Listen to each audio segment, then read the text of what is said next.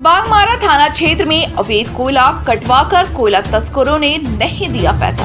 पैदल ही घर को चल पड़े बंगाल के मजदूर। पैसा एक दिन बाद बाद मिल जाएगा। तो हम बोले, तीन रोज पैसा देंगे तो हम लोग घर देंगे, हम लोग काम नहीं करेंगे। तीन रोज बाद पैसा हम लोग को लेने का ज़रूरत नहीं है। तो बोला हाँ घर से भी दे देंगे। अगर पैसा डिपो से नहीं मिलेगा तो घर से भी दे देंगे। तो वही बात बोला, और यहाँ आके वो काल बोला कि पैसा एक दिन काम हो गया मतलब पैसा दीजिए भैया। तो लोग बोल रहे हैं हाँ दस बजे मिल जाएगा। फिर एक बार फ़ोन किया, बोला, नहीं, दस बजे नहीं, चार बजे मिलेगा।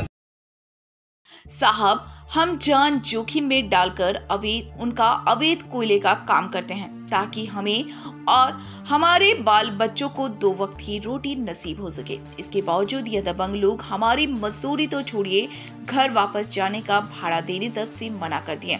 यहाँ तक कि खाना खाने के भी पैसे नहीं हैं। अब हमारे पास। अब तो ऐसा लगता है कि घर भी वापस पैदल ही जाना पड़ेगा। इतना कहकर पश्चिम बंगाल से बागमारा थाना क्षेत्र में अवैध कोयला का खनन करने आए यह मजदूर पैदल ही हाथों में अपना सामान लिए निकल पड़े। दरअसल मामला यह है कि पिछले कुछ दिनों से बागमारा थाना अंतर्गत जमुनिया नदी के समीप स्थानीय कोयला तस्करों के द्वारा अवैध खनन के लिए पश्चिम बंगाल के आसनसोल के ग्रामीण क्षेत्रों से दर्जन भर से ज़्यादा मजदूर बुलाए गए थे, जिन्हें खनन क्षेत्र के ही समीप स्थित बीसीसीएल के क्वार्टरों में रखा गया था। मजदूरों को अवैध मुहानों से खदान के अंदर से कोयला काटकर बोरे भर के बाहर लाने का कार्य कराया जा रहा था। मजदूरों ने बताया कि स्थानीय दीपक भोला और सिकंदर नामक कोयला तस्कर के बुलावे पर चार दिन पहले वे यहाँ अवैध रूप से कोयला काटने का काम करने आए थे। काम के एवज प्रति बोरी के दर से उन्हें हर रोज मजदूरी भुगतान करने की बात कही गई थी, परंतु काम करने के बाद जब मजदूरों ने अपना मजदूरी की मांग की तो तस्कर मजदूरों को सुबह शाम की बात कहकर टालने लगे। दूसरे दिन भी जब मजदूरों ने किए काम की मजदूरी मांगी, जिसके बाद से तस्करों द्वारा कभी अवैध डिपो से पेमेंट तो कभी कुछ और बहाना बना के मजदूरों से भुगतान के लिए समय मांगते रहे। इसी बीच बुधवार को स्थानीय बीसीसीएल प्रबंधन वन विभाग सीआईएसएफ और बागमारा पुलिस की निगरानी में अवैध खनन के मुहाने को डोजरिंग कर बंद कर दिया गया, जिसके बाद मजदूर अपना भुगतान करने और घर वापस जाने की मांग करने लगे। कोयला तस्करों के बढ़े मनोबल का इसी बात से अंदाज़ा लगाया जा सकता है कि जब मजदूरों ने तस्करों से कहा कि हमें पैसे दे दीजिए, हम घर वापस जाएँगे, तब तो अब तो मुहाना भी बंद हो गया है। तब तस्करों ने मजदूरों को आश्वस्त किया कि दो दिन रुक जाओ, मुहाना फिर खुल लेंगे और फिर आराम से तुम लोगों काम शुरू कर देना। पर मजदूर अपनी मजदूरी की मांग करते रहे, पर बात न बनता देख मजदूर आसपास के लोगों से मदद मांगने लगे, जिसके बाद पूरे मामले का खुलासा हो सका। हालाँकि तस्करों को जब इसकी जानकारी मिली कि मजदूर दूसरों से मदद मांग रहे थे उन्होंने मजदूरों को फ़ोन पर धमकाते हुए कहा कि जिससे शिकायत करनी है, कर दो। पैसा तो सिर्फ़ हम ही लोग दे सकते हैं। फ़ोन किया था हम तो बोला काम हो जाएगा जब कौन लोग फ़ोन किया था? भोला और सिकंदर। अच्छा। वो लोग बोल रहे थे हाँ यहाँ आ जाओ पैसा एक दिन बाद बाद मिल जाएगा। तो हम बोले तीन रोज पैसा देंगे तो हम लोग घर जाएँगे हम लोग काम नहीं करेंगे। तीन रोज बाद पैसा हम लोग को लेने का ज़रूरत नहीं है। तो बोला हाँ घर से भी दे देंगे। हम्म, अगर पैसा डिपो से नहीं मिलेगा तो घर से भी दे देंगे। हम्म, तो वही बात बोला और यहाँ आके वो काल बोला कि पैसा एक दिन काम हो गया मतलब पैसा दीजिए भैया। तो लोग बोल रहे हैं हाँ दस बजे मिल जाएगा। फिर एक बार फ़ोन किया, बोला, नहीं, दस बजे नहीं, चार बजे मिलेगा।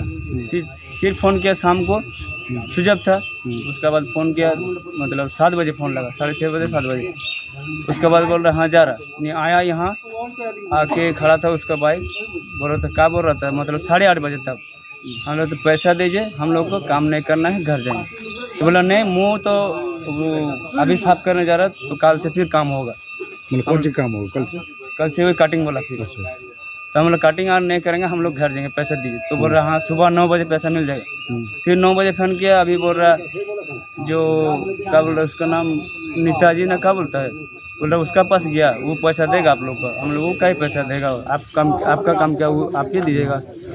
तो बोला हाँ तो ठीक है हम लोग जा रहे हैं एक, एक डेढ़ घंटे बाद जा रहा है। बोल रहे एक डेढ़ घंटा बाद जा रहा हूँ। हम्म। वही बात बोला। तो आप लोग को कहाँ बुलाया था काम करने के लिए? यही यही तो गाँव ग्राम को हमको मालूम नहीं अच्छा, कहाँ अच्छा, कौन लोग सी को है। मोबाइल से? अपना बात हुआ। अच्छा मोबाइल से बात हुआ ना? हाँ।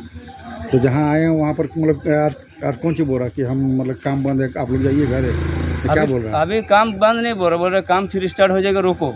अच्छा। और हम लोग बोल रहे नहीं रोकेंगे हम लोग अपने घर जाएँगे। पैसा दे दीजिए घर जाएँगे। हाँ, तो तो उसमें तो उसमें आप लोग को, को मतलब क्या दिक्कत है? क्या आपत्ति है? हम लोग को त्यौहार भी है और हम लोग को भी पैसा के लिए प्रॉब्लम है इसीलिए हम लोग घर जाएँगे। तो पैसा घर तो काम यहाँ किए हैं क्या आप? हाँ दो दिन किया। दो दिन काम किए। दो दिन किया वही छः- मतलब अच्छा। छः को दिया छः टोली माल दिया पैसा के लिए बोल रहा तो बोल रहा हाँ जा रहा जा रहा। और अभी तक नहीं? मारपीट भी किया आप लोग नहीं मारपीट नहीं किया। गाली गलोज दिया? है गाली गलोज फ़ोन में अगर दिया तो मतलब दूसरा को फ़ोन किया तो दो अपना बंग मतलब हिंदी नहीं समझ में आता है। अच्छा अच्छा। इसीलिए उसको समझ में नहीं आ रहा जो गाली दिया कि नहीं दिया। अच्छा बताया जाता है कि तस्कर मजदूरों से समूह बनवा कर काम कराते थे। हर मुहाने पर अलग अलग समूह को कोयला काटने से लेकर बोरे में भरने और फिर मुहानों से बाहर लाने की जिम्मेवारी होती है। इसके एवज में बोरे में भरे कोयले के वज़न कर प्रति किलो एक से दो रुपए के हिसाब से एक मुस्त भुगतान समूह को कर दिया जाता है, जिस अवैध रूप से कोयला काटने वाले मजदूरों का समूह बराबर बराबर आपस में बांट लेता है। इसके बाद उस समूह का अवैध रूप से निकाले गए कोयले पर किसी प्रकार की जिम्मेवारी नहीं रहती। जानकारों की माने तो बाहर से मजदूरों को लाकर अवैध खनन कराने में से तस्करों ने को दोहरा फ़ायदा मिलता है।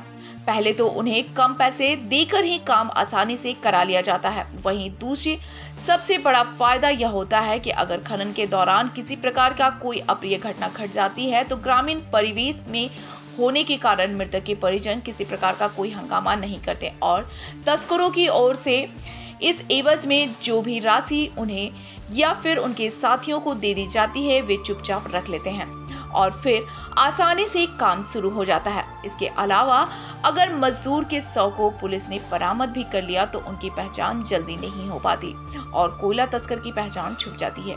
यही कारण है कि कोयला तस्कर स्थानीय से ज़्यादा बाहर के मजदूरों पर विश्वास करते हैं। सूत्रों की माने तो मजदूरों की सिर्फ़ कतरास नहीं, बल्कि पूरे धनबाद ज़िले में अवैध खनन के लिए इस्तेमाल किया जाता है। यह मजदूर मुख्यतः पश्चिम बंगाल के आसनसोल, मुर्शिदाबाद वर्धमान, झारखंड के गिरिडीह जामतारा बोकारो के ग्रामीण क्षेत्रों के अलावा ज़िले के टुंडी से भी मंगवाए जाते हैं।